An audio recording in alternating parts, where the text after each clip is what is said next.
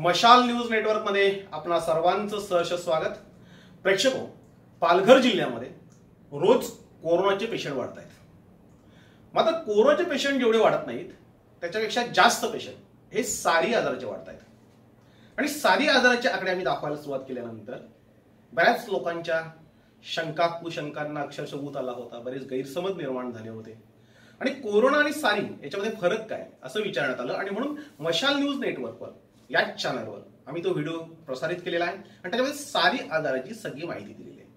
आता हे सारी आजार हा का धोकादायक आहे का गंभीर आहे? तर मराठवाडा आणि विदर्भामध्ये मोठ्या संख्येने या आजाराची लोक मृत्यू पावलेली आहेत. आणि आता मी कॅमेऱ्यासमोर यायच्या आधी आपल्या जिल्ह्याचे जे सर्वेक्षण अधिकारी आहेत पालघर जिल्ह्याचे डॉक्टर सागर पाटील यांच्याकडे जेव्हा आम्ही विचारणा केली की आपल्या जिल्ह्यामध्ये सारी आजार हा का वाढतोय? तर त्याचं नेमकं कारण काय? त्याची लक्षणं काय? तेव्हा त्यांनी सांगितलंय की अडतीस डिग्री सेंटीग्रेडपेक्षा जास्त किंवा शंभर पॉईंट चार डिग्री पॅरानाईट ताप जर असेल तर ती सारी आजाराची लक्षणं आहेत. साधारणतः त्यांनी सांगितलं की खोकळा असेल श्वासनाचे त्रास असतील तर आम्ही तात्काळ त्यांची तपासणी करतोय आणि त्यांना निगराणीखाली ठेवतोय. त्याचं कारण असं की सुरुवातीला काटाळ्याला एका छोट्याशा मुलीला कोरोना पॉझिटिव्ह जीवांनी निघाली त्याच्या आधी ती सारी आजाराची रुग्ण होती. म्हणजे तिची कुठलीही ट्रॅव्हलिंग हिस्ट्री नव्हती. तिने कुठेही प्रवास केला नव्हता. ती कोणाच्याही संपर्कात आली नव्हती. तिची जेव्हा तपासणी केली सर्दी खोकळा तापची तेव्हा ती सारी रुग्ण म्हणून सांगण्यात आली आणि त्याच्यानंतर ती कोरोना पॉझिटिव्ह झाली आणि नंतर त्याची मोठ्या प्रमाणावर लागण झाली. म्हणजे ती डहाणू तालुक्यातली होती. डहाणू तालुक्यामध्ये पेशंट वाढताना दिसत आहेत पालघर तालुक्यामध्ये पेशंट वाढताना दिसत आहेत पालघरमध्ये ह्याच सारी आजारातून कोरोना पॉझिटिव्ह झालेल्या एकाचा मृत्यू झालेला आहे. अशी माहिती डॉक्टर सागर पाटील यांनी दिली आणि पालघर तालुक्यामध्ये सारीचेच एकूण पाच पेशंट हे कोरोना पॉझिटिव्ह असल्याचं लक्षात आलंय. म्हणजे साधी आजाराबरोबरच कोरोना आजाराची जी लक्षणं आहेत ती समान पातळीवर काहीशी दिसतात. आणि म्हणून आता सारी रुग्णांची तपासणी ही मोठ्या प्रमाणावर जिल्ह्यामध्ये सुरू आहे. आता जे जिल्हा अधिकारी आहेत डॉक्टर कैलास शिंदे यांनी जिल्ह्यामध्ये फिवर क्लिनिकची सुरुवात केलेली आहे. आणि त्यांनी असं आवाहन केलंय की सर्दी खोकळा तापग्रस्त रुग्णांनी या सुविधेचा लाभ घ्यावा असं त्यांनी आवाहन केलंय. म्हणजे ह्या आजाराचाही धोका आपल्याला जिल्ह्याला संभवतोय. आणि म्हणून तर प्रशासनाने पूर्ण काळजी घ्यायला सुरुवात केलेली आहे. हे रुग्ण शोधायला सुरुवात केली आणि त्याच्यासाठी खास फिवर क्लिनिक जी आहेत ती सुरू केलेली आहेत देशामध्ये कोरोना बाधितांचा जो आकडा वाढतोय त्याचबरोबर आपल्या जिल्ह्यामध्ये कोरोना विषाणूचा प्रादुर्भाव वाढत आहे. त्यांचं म्हणणं जे ते मी वाचून दाखवतोय. जिल्हा प्रशासन हा संसर्ग रोखण्यासाठी विविध उपाययोजनांची अंमलबजावणी करत आहे. व्यक्ती कोरोनाबाधित झाल्यावर जी सर्व सामान्य लक्षणे दिसून येतात ताप खोकळा सर्दी अशा लक्षणांचे निदान करून त्यावर उपचार करणे अत्यावश्यक असल्याने जिल्ह्यातील विविध भागात फिवर क्लिनिक स्थापन करण्यात आले असून या माध्यमातून जिल्ह्यातील विविध रुग्णांवर उपचार करण्यात येत आहेत असं जिल्हाधिकारी म्हणतात ते पुढे म्हणतात सर्दी खोकळा ताप अशी लक्षणे ज्या रुग्णांमध्ये तीव्र प्रमाणात जाणवत असतील.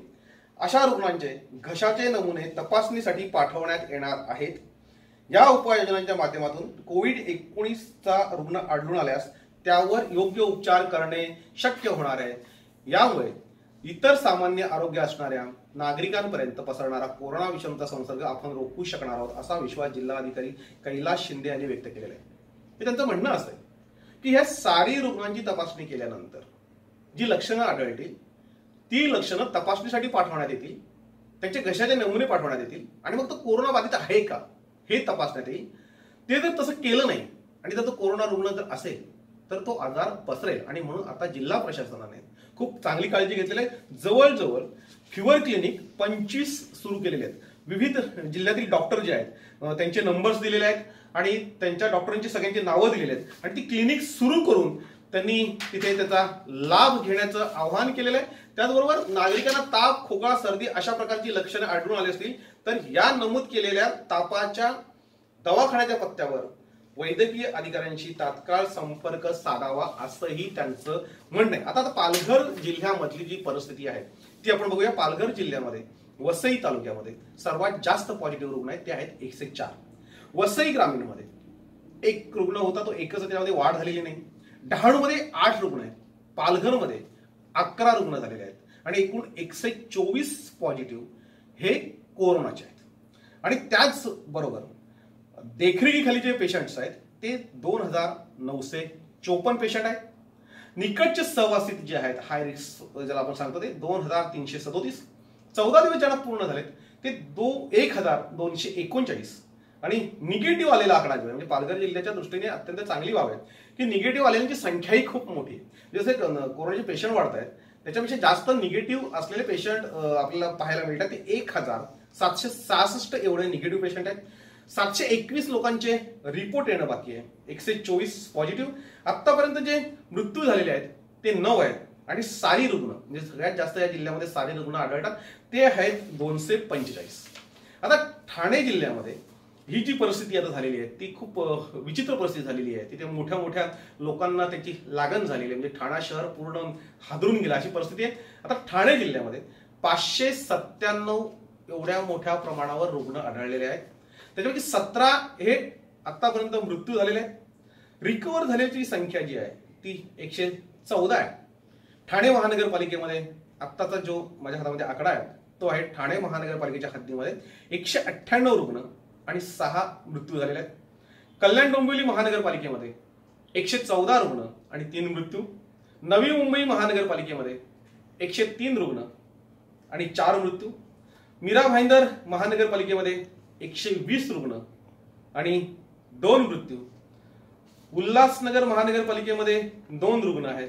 भिवंडीमध्ये जे नऊ रुग्ण झाले होते त्यांना डिस्चार्ज दिलेला आहे. अंबरनाथमध्ये चार रुग्ण आहेत आणि एक मृत्यू झालेला आहे. बदलापूरमध्ये सोळा रुग्ण आणि एक मृत्यू झालेला आहे. ठाणा ग्रामीण भागामध्ये ही संख्या वाढते. ती आता संख्या ही सोळा झालेली आहे.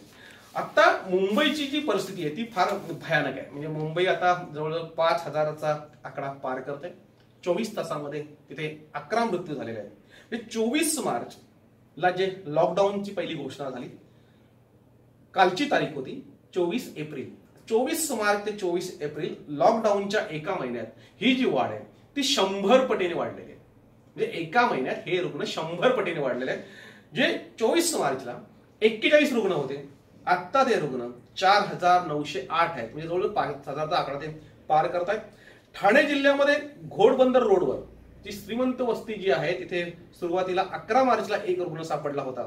जिल्ह्यामध्ये कोरोनाचा तेव्हा शिरकाव झाला होता. आणि आत्ता पाचशे सत्त्याण्णव रुग्ण झालेले आहेत. म्हणजे ही वाढ ठाण्यामध्ये फार मोठ्या प्रमाणावर झालेली आहे आणि एकशे चौदा रुग्ण हे बरेही झालेले आहेत. पालघर जिल्ह्यामध्ये अठ्ठावीस मार्चला अठ्ठावीस मार्चला दोन रुग्ण सापडले होते. आज पंचवीस एप्रिलला हे रुग्ण एकशे चोवीस आहेत.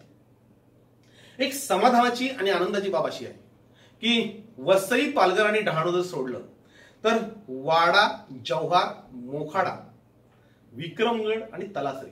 हे जे पाच तालुके आहेत याच्यामध्ये सारीच्या रुग्णांची संख्या आहे. मात्र कोरोनाचा एकही रुग्ण नाही. आणि कोरोनाचा एकही रुग्ण नसल्याने या पाचही तालुक्यांमध्ये काही सोयी आनंदाच्या उकळ्या फुटतात आणि लोक मोठ्या प्रमाणावर बाहेर पडत आहेत म्हणजे खरं तर कोरोनाचा धोका हा संपलेला नाही. मात्र एकही रुग्ण पॉझिटिव्ह नसल्याने इथे मोठ्या प्रमाणावर बेशिस्त सुरू आहे. त्याच्यामुळं इथलं लोक जी आहेत लोक ते नियंत्रित करणं आता गरजेचं अशी तर मागणी होत आहे. कारण कुठलंही शासनाचे नियम जे आहेत म्हणजे सामाजिक अंतर पाळणं असेल मास्क लावणं असेल गर्दी न करणं असेल याचं कुठेही आता नियम हे पाळले गेले नाहीत. मात्र त्या पाचही तालुक्यांमध्ये एकही पॉझिटिव्ह रुग्ण आढळलेला नाही. मात्र सारीचे रुग्ण तिथे किती आहेत हे आपण बघूया. डहाणू तालुक्यामध्ये सारीचे अठरा रुग्ण आहेत. पालघरमध्ये ते एकशे दहा आहेत. जव्हारमध्ये एकतीस आहेत. मोखाड्यामध्ये सोळा आहेत. वसई ग्रामीणमध्ये पाच आहेत. तलासरीमध्ये नऊ आहेत. विक्रमगडमध्ये एक आहे. वाड्यामध्ये नऊ आहेत. वसई विरार मनपामध्ये सेहेचाळीस. असे जवळजवळ दोनशे पंचेचाळीस रुग्ण हे सारी रुग्ण आहेत. आणि नुकताच मी सागर पाटील जे सर्वेक्षण अधिकाऱ्यांची चर्चा केली त्यांच्या म्हणण्यानुसार सारीच्या रुग्णांची तपासणी केल्यानंतर त्यांचे जे अहवाल पाठवले होते घशाचे नमुने पाठवले होते ज्यांच्यामध्ये सारे रुग्णांच्या लक्षण सापडली होती त्याच्यामध्ये पाच रुग्ण हे कोरोना पॉझिटिव्ह मिळालेले आहेत. मित्रांनो सगळ्यांनी आता काळजी घेणं गरजेचं आहे. म्हणजे हा आजार ज्या पद्धतीने वाढतोय ती काळजी घेणं गरजेचंच आहे. पण त्याचबरोबर ही जी तापाची क्लिनिक जी सुरू केलेली आहे ह्या क्लिनिकमध्ये आता सगळ्यांनी ज्यांना थोडीशी लक्षणं असतील सर्दीचं असेल ताप असेल खोकळा असेल किंवा इतर जी लक्षणं त्यांनी सांगितलेली आहे डॉक्टरने त्या लक्षणं असतील तर त्यांनी सगळ्यांनी आत्ता सगळ्यांनी तपासणी करून घेणं गरजेचं आहे. कारण जवळजवळ ह्या आठ तालुक्यांमध्ये पंचवीस रुग्णालय क्लिनिक ती सुरू केलेले आहेत. पंचवीस डॉक्टर कार्यरत आहेत. म्हणजे ही खूप चांगली बाब आहे. आता आपल्याकडे जे दोन पॉझिटिव्ह रुग्ण जे आहेत ते पवई इथे जे एम जी आर रुग्णालय आहे तिथे दाखल आहे एक पॉझिटिव्ह रुग्ण जसलोकमध्ये दाखल आहे. दहा पॉझिटिव्ह रुग्ण जिल्हा रुग्णालय ठाणे. इथे ऍडमिट आहेत बारा रुग्ण रिद्धिविनायक हॉस्पिटल नालासोपाऱ्यामध्ये आहेत. दहा रुग्ण सेवन हिल हॉस्पिटल इथे दाखल आहेत. एक रुग्ण हॉरिझन प्राईम हॉस्पिटल ठाण्यामध्ये आहे. दहा रुग्ण बोलिन्स इथे विलगीकरण कक्ष इथे ठेवलेले आहेत. दोन रुग्ण उपजिल्हा रुग्णालय डहाणू इथे आहेत. दहा रुग्ण अगरवाल हॉस्पिटल वालीव येथे आहेत. चौदा रुग्ण टीमा हॉस्पिटल बोईसर येथे आहेत. बारा रुग्ण कौल सिटी विलगीकरण कक्ष तिथे आहेत. एक रुग्ण रिलायन्स हॉस्पिटल मुंबई इथे दाखल आहे. एक रुग्ण भक्ती वेदांत हॉस्पिटल मीरा रोड येथे दाखल आहे. एक रुग्ण ब्रिज कॅन्डी हॉस्पिटल मुंबई इथे दाखल आहे. एक रुग्ण नायर हॉस्पिटल मुंबई इथे दाखल आहे. एक रुग्ण नवनीत हॉस्पिटल दैसर येथे आहे. एक रुग्ण फोर्टीज हॉस्पिटल मुंबई इथे आहे. एक रुग्ण बॉम्बे हॉस्पिटल मुंबई इथे आहे. दोन रुग्ण रहेज हॉस्पिटल मुंबई इथे आहे. एक रुग्ण लीलावती हॉस्पिटल मुंबई इथे आहे. एक रुग्ण ई एन टी हॉस्पिटल मुंबईत आहे. एक रुग्ण भाभा हॉस्पिटल मुंबईत आहे. एक रुग्ण कोकिलाबेन हॉस्पिटल मुंबई इथे दाखल आहे आणि आतापर्यंत घरी सोडलेले रुग्ण हे अठरा आहेत आणि एकूण मृत्यू नऊ आहेत आमच्याकडे जी आरोग्य विभाग जी आकडेवारी पाठवते जो तक्ता पाठवतोय त्या तक्त्यामध्ये जी आकडेवारी असते तीच आम्ही तुमच्यासमोर ठेवतोय मित्रांनो ही जर आकडेवारी बघितली तर पालघर सारख्या जिल्ह्यामध्ये एवढ्या मोठ्या प्रमाणावर रुग्ण म्हणजे इथली जी लोकसंख्या आहे ती जास्तीत जास्त तीस ते बत्तीस लाख आहे तीस ते बत्तीस लाखाच्या लोकसंख्येच्या दृष्टीने हे कोरोनाचे रुग्ण हे खूप जास्त आहेत. त्याला कारण असं की पहिल्या क्रमांकावर मुंबई आहे दुसऱ्या क्रमांकावर पुणे आहे तिसऱ्या क्रमांकावर ठाणे आणि चौथ्या क्रमांक पालघर आहे. इतर जिल्ह्यात बघितलं आपण म्हणजे टीव्हीवरच्या ज्या बातम्या बघतोय किंवा वृत्तपत्रामध्ये आलेल्या आज बातम्या बघतोय तर वाशिम सारखा जो जिल्हा आहे हा कोरोना मुक्त झालेला आहे. चंद्रपूर कोरोना मुक्त आहे नांदेड कोरोना मुक्त आहे. अनेक जे जिल्हे आहेत तिथे एकही पेशंट सापडलेला आहे आणि जे पेशंट एक दोन एक दोन सापडले होते तेही तिथे मुक्त झालेले आणि तिथली जी परिस्थिती दाखवली जाते तिथे खूप चांगल्या पद्धतीने जिल्हाबंदी केलेली आहे जिल्ह्यात कोणाला येऊन दिलं जात नाही तालुक्यात कोणाला फिरून दिलं जात नाही. आणि काटेकोर अंमलबजावणी जी केलेली जाते म्हणजे जालनाचं सकाळची जी बातमी होती की तिथे खूप चांगल्या पद्धतीने उपाययोजना केल्याने आणि लोकांनी त्याला प्रतिसाद दिल्याने तो जिल्हा पूर्ण कोरोनामुक्त झालेला आहे. आणि आता तिथे सगळे उद्योग व्यवसाय सुरू होण्याच्या तयारीमध्ये मित्रांनो पालघर आणि ठाणे जिल्ह्यामध्ये जर आपण शिस्त पाळली आपण घराच्या बाहेर जर पडलो नाही शासनाने ज्या अटी नियम लावलेले आहेत त्या जर आपण पाळल्या तर आपला जिल्हाही कोरोना मुक्त होऊ शकतो. आणि म्हणून सगळ्यांनी घरातच थांबा. आपल्या आरोग्याची काळजी घ्या. धन्यवाद.